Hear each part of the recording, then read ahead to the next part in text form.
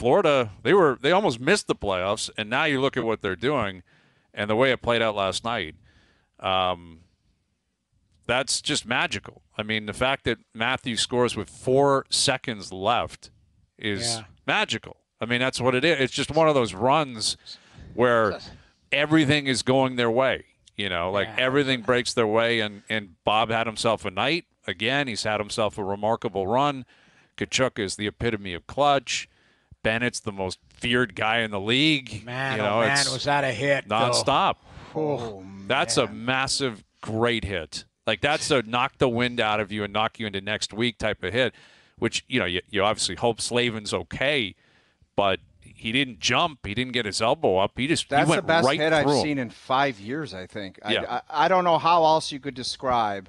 Like if you put in a video dictionary the way to hit and, and catch a guy by surprise on the forecheck, it's that right there. We obviously don't want to see anyone get hurt, but Do you, do you guys remember? Like that reminded me of Svechnikov on Lindholm a year ago.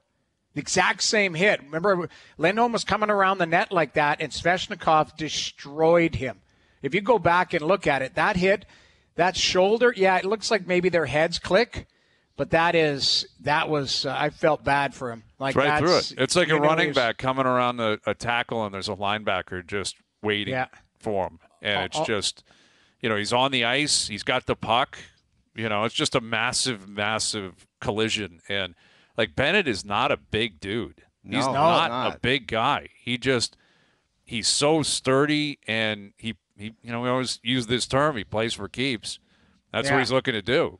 And like people in Toronto hate him, people in Carolina hate him. I would guess people in Boston hate him, and yet he's he's going I to a think cup everyone final. hates him except us. Everyone Until hates on him your unless team. you're a Panther fan. That's Well, right. if he's on your team, you love him. But Exactly. if you, you, you like he's a guy you don't want to play against because you're right. Like he's he's doing what it what it takes to to go deep into the playoffs. And the thing is, is he's a unique guy because he plays a top six role. We usually see those guys who are more physical, they're more feared in a bottom six role, and that's why it's it's it's unique. Tom Wilson's a unique guy. Evander Kane's a unique guy because they're top six players that play with bite. Usually, we see top six guys that are more skilled, a little bit, you know, a little bit shy, that type of stuff. That that like to play a fancier game. He doesn't play a fancy game. It's meat and potatoes with him, and Yeah, he comes. that's kind of how they're all wired. Like Bar- Barkov is not, you know, he's not a meat and potatoes. He's, No, he's just a no. great, smart player. Verhaeghe, Dude, the do you same see thing. that Duclair Barkov speed. dur-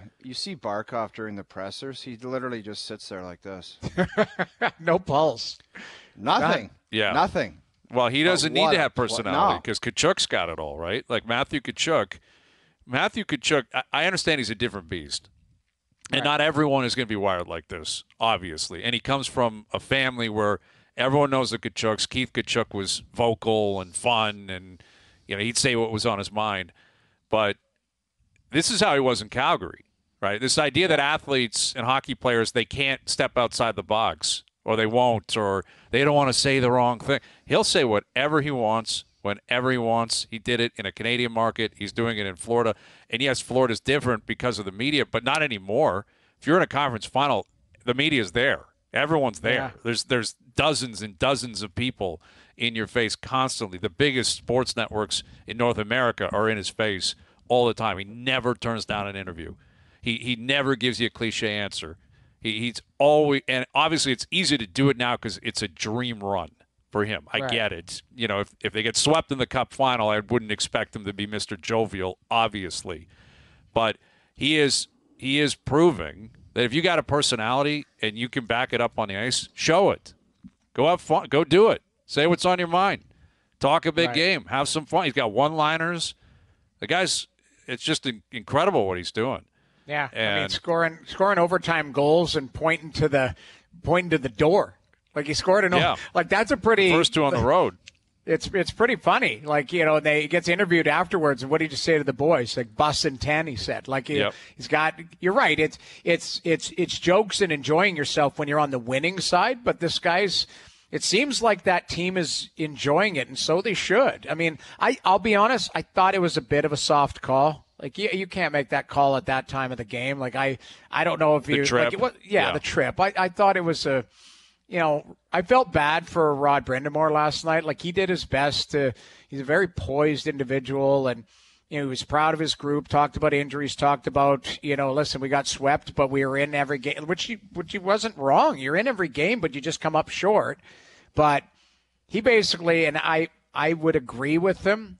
Like you got to do something, and I know that you got to call penalties, and that's that's probably by the letter of the law a trip. But man, oh man, But like they put the whistle away for so much other Well, stuff. Well, that's what I that's what I mean. areas. Like, I- I like just obviously felt Leaf like- fans are like, "What the hell?" But uh, they're right. Yeah. Like that Staal hit on Marner at the end of the game in Game Five was a joke. And the ref Right. was looking at. it. He's like, "I'm not calling that. There's 30 seconds left." Then Yeah. last night, I'm like, "Yeah, all right, fine, trip." and it's not like the insane. puck. That's insane. To It's call that. ridiculous. I- it's I- embarrassing, and it's what the NHL always does to themselves. It's always self-inflicted. They they're very selective with when we're going to actually call something. It'd be one thing if that puck popped into the front of the net and someone had a great opportunity, Agreed. you know, or something Yeah. like that. Okay, but it was still it was moving up the boards. It likely wasn't going to have any effect on anything, and you know they call it. And and listen, you know how I feel about review. I hate it. I hate Right. it. And let, let me point this out. I thought like the exuberance of the moment and all that. But if you're going to have the rule, for me, Bennett sticks in his. That's that should not have groin. counted. Yeah. like that, that was blatant. Bennett's stick is in his pads. But that was a classic Brett Hull 99. They're like, what are we going to do? We're not calling this back. There's four seconds left. We won't get out of here alive. like his stick is in his pads. Yeah, I, I mean, I Like for all the ones that they've called though for years. Like if they You're- called you're that back on a Tuesday in November in the second period, you'd say, yeah, okay, of course, I get it. yeah, no, you're, You yeah, know. you're right. It's just I, I've gone, I've gotten to the point now where people say this all the time. What is pass interference? What is goaltender interference? Because mm-hmm. it's subjective. It's subjective. Like that's legitimately what we what we are looking at. And I don't know if it's ever going to get better because it's the three of us can have a different opinion looking at the exact same play. And I would think that all three of us have pretty good hockey backgrounds and have you know reasonable heads on our shoulders. But you're looking at something going, you're right. Like yeah, the stick is in there. Messing with them a little bit. I just like, think there's no chance. It didn't matter. They're like, we're not, Right. unless it's so egregious. They're like, we're not calling this back. Well, man. that's Tkachuk the- just scored. It's a sweep. Everyone wants to go home. Forget I. I think, but that's where I come back to it. Like, I thought it was overtime, and then that call, I'm like, man, that's just a tough call. Yeah. Like, it just, uh, it is what it is, and the Florida Panthers and it's deserve sweep. to be. right? We love. Rod Brind'Amour. Love Rod, Br- and I know what he was driving at. It's a sweep, man. You got Well, swept. yeah, on, on paper it's a sweep. There's, nothing no you can do about there's it. Nothing Yeah. you can do. It- So did were you- incredibly close games, but it's a sweep. Did you did you think that was the equivalent of respect in the handshake line? Is that what you're saying? Uh, it- but it was towards his own team, right? Like he's Right. he's and again he's not wrong that every like the first two went to overtime, the first one to the fourth overtime, and then the other two games were one goal games. And I thought Right. Carolina was better in both. Like I, I, he's not wrong in terms of the analysis that it was very close. I think his message was simple. It could have gone either way, but And- the and- better team won. Basically, like is and- that not the message you got from that? I did, and I Sure, also think he was pointing it to his players, saying, "Like I'm proud of that group. We did. You know what? You're right there. Um, it's unfortunate because you'd like to see if they were healthy. You know, maybe get one of those guys that that gets them over the top. But unfortunately, you will never know. And Florida is on a heater. They they seem like they're a Cinderella story. Now, what happens?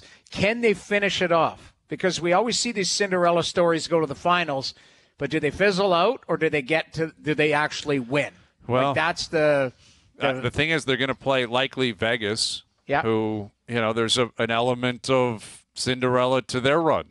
Is they got Adin Hill in the net, you know, and and Yeah. so I don't know. I, don't see that. I don't see Florida getting run over. Um, but the nature of these playoffs have, has been very unpredictable.